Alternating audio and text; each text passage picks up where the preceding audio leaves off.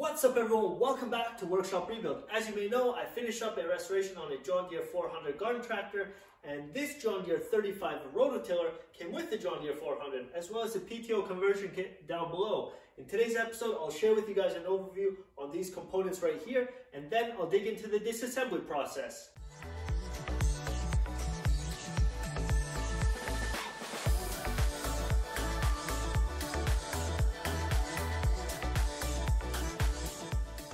When I purchased the John Deere 400 garden tractor, the previous owner didn't even tell me anything about the rototiller. This is a John Deere 35 rototiller and it has the PTO conversion kit that hooks up to the gearbox right there. Um, the John Deere 400 is a 2000 RPM PTO uh, that is belt driven mechanically by the engine and it transfers power to the front of the conversion kit right there. That drive shaft transfers the power to this little gearbox and the output shaft right there will give us 840 RPMs to the rototiller there. So I'm gonna share with you guys the front part of the rototiller. We have three points over here. The top point is for our top link. The top link is adjustable and that will allow us to angle our rototiller. The two bottom points are for our lift arms on the three point hitch and they will hook up right here and over there. So those are the three points on this rototiller. And then we have a drive shaft. This is telescoping. I have one more part, which is right over there on the table that has been previously rebuilt. That part specifically mounts to our PTO conversion kit on that spline. There is a quick attach mechanism. That telescoping shaft inserts onto the longer part of the drive shaft right here.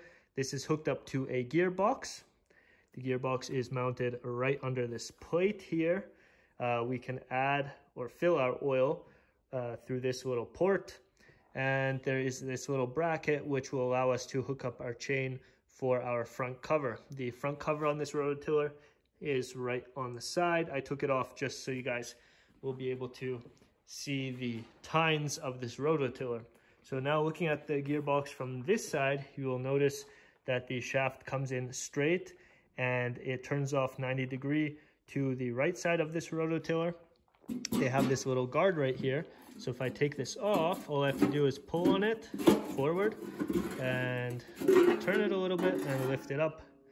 And this is the profile of this guard. So there's a little latch where we can hook it up to. Down below, that is a welded on piece.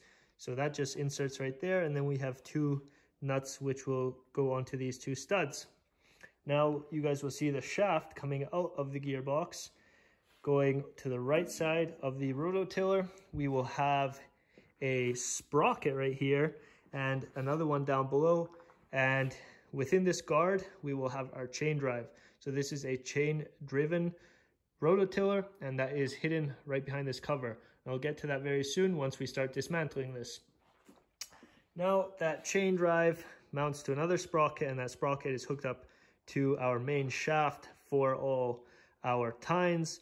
Each little section has four tines. So from right to left, we have 36 tines in total. And I do know I saw one broken one on the left and one on the right. So I will have to replace two tines. And these still look like they're in fair condition. I wouldn't say they're new, but as you guys will see, they still have a little bit of life left in them and I will probably not change them if they can still do a little bit of yard work. There are four bolts and a flange on the very end and there's probably a bearing right there so that will be removed later on. But I will focus on the top end of this rototiller first, the chain drive and the tines will be last as well as the main shaft.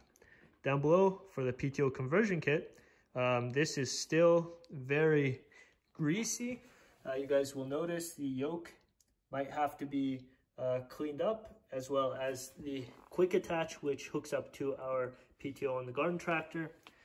Uh, then over here, the yoke actually just uh, gets mounted with a little spring pin to our PTO converter. Now this part right here, when we look at this PTO conversion kit from the side, uh, this drops in onto these slots. There are two pins on the John Deere 400. And then we have these two spring-loaded pins, which will then uh, go into place just like that. and this locks everything into place. So this is basically an additional part or an option for your garden tractor. So you can just pop this on. When we look at it from the other side, right here, you will see that this output shaft is splined and there is a little recess right here for the quick attach. This is a plate, very thick actually, and it has a little hitch on it as well. So uh, I think this plate is also an option that would just have this little hitch on it. But this is also set up for our PTO, which will drive our rototiller. I gave you guys a quick overview on the rototiller and the PTO conversion kit. Now I'll give you guys a time lapse on the disassembly process of the rototiller and then we'll have a good look at the PTO conversion kit. So stick around.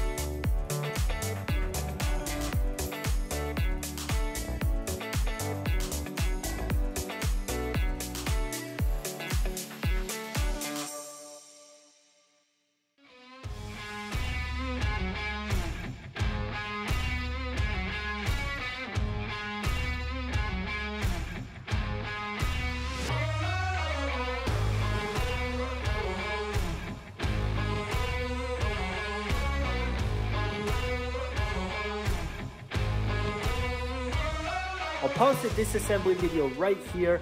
I have the rototiller flipped around on that little cart and I tried turning it over by hand and it didn't go too well. So let me give you guys a close-up view on that.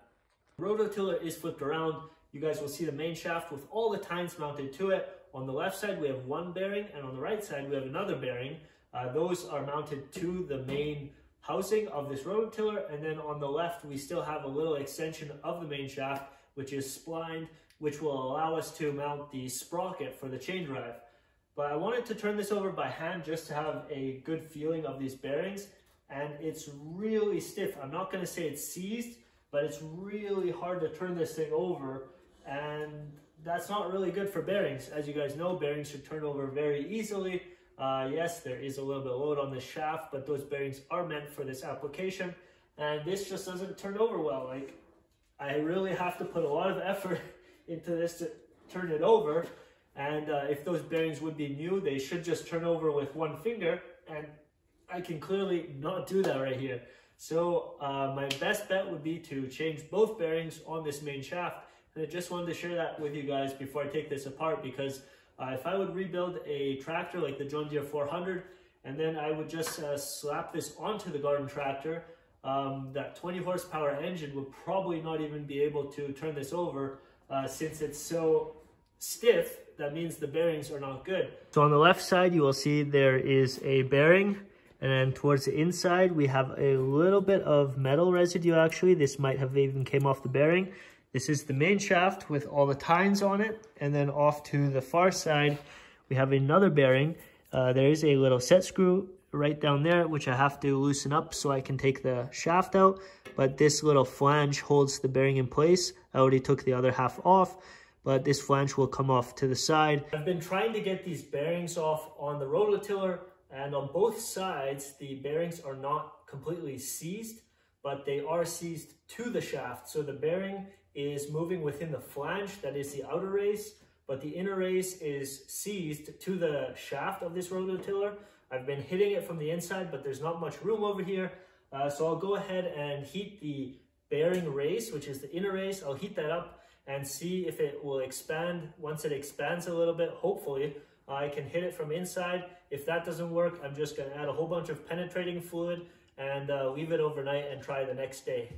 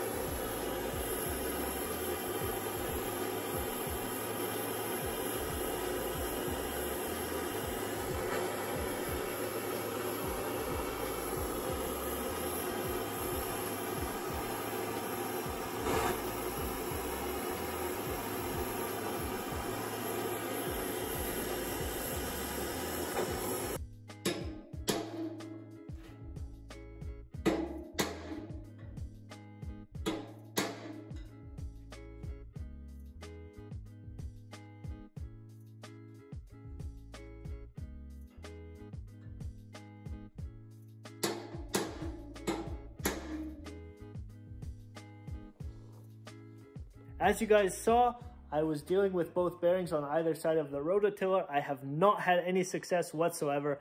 I've heated it up, I've added a whole bunch of penetrating oil, and it just does not want to move. It's really seized on the main shaft. So I'll have to add some more penetrating oil throughout the evening, and then hopefully tomorrow when I come back, I can remove those bearings. I will probably not feature it in this video. Uh, if I do the assembly video on this, I might just share a glimpse of how I did take it apart. That might be valuable for you if you would like to rebuild your rototiller as well. But for now, let me head over to the PTO conversion kit and deal with that. On the little table, I have the PTO conversion kit with the drive shaft. Off to the left is a sprocket and the chain still from the rototiller. But this is actually a guard for this PTO conversion kit that will bolt on right here on four bolts. Uh, I still have to straighten this out a little bit and sand it and then prime it and paint it. But in the meantime, I will be working on this. I will loosen off all these bolts around the perimeter so I can open it right along the seam. Uh, there is one seal close to this shaft, which is the output shaft. And the input shaft also has a seal down below. And I just had it sitting on its side before, and as you guys can see, it's leaking. Um, I think it's leaking just on the seam or possibly on one of these bolts that means it's not sealed properly. Um, so I will have to focus on this. I will open it up and see what's inside. Hopefully um, it looks good inside and then I can close it back off. Uh, I will be using gasket material and I might even use a little bit of silicone to close this off. Uh, and then I think that should be good. I will also focus on this U-joint right here. So I'm gonna have to pop out that spring pin. And on the other side of the drive shaft, I will check out this yoke. And right here we have a little quick attach. As you guys will see, this does not even return. Um, so I will be taking this apart and cleaning that up. So let's get right to it.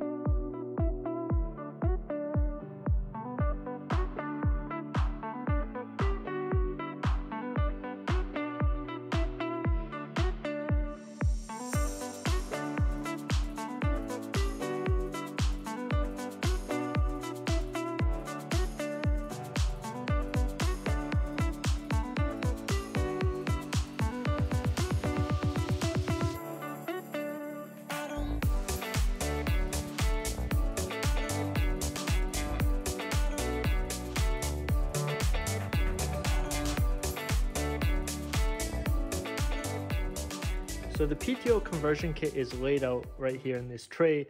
I usually use trays on a table uh, when something gets oily or very messy. I can just scoop out all the oil or debris in a tray like this. So now we have two housing halves from the PTO conversion kit. We have our smaller sprocket down below and a bigger sprocket which goes up above. As you will see, there is a needle bearing on the back side of the housing and on the front side of the housing. This shaft is the splined shaft. So this will be a, this will be our output shaft for the rototiller, and this shaft is a keyed shaft which hooks up to our main drive shaft coming from the PTO. Now within this housing we have two shafts as you can see and two sprockets. One is smaller and one is bigger. This will convert our 2000 RPM PTO up to 840 RPMs. That is coming off the bigger sprocket right there. Now, the chain is our drive mechanism between these sprockets. To secure these two shafts within these housings, we have these little spacers. As you can see down below, this was brazed in the past, so somebody must have had this open. And as you can see around this needle bearing, there is also a brazed weld around and we have a machine surface afterwards. So they must have welded it and machined it afterwards and somebody did a fairly good job right here. I'm not quite sure. When I look at it down below, it looks like the chain was dragging right there. Maybe the original sprocket, which this probably isn't. Um, they also put a weld around this sprocket and they only welded it on one side. This side does not have a weld, so I assume there was something wrong with the sprocket. Uh, maybe even the shims or the spacers between the sprocket and the housing went bad and this chain looks to be in pristine condition so somebody fixed it in the past but either way, there is also one more part. We have a chain tensioner right here.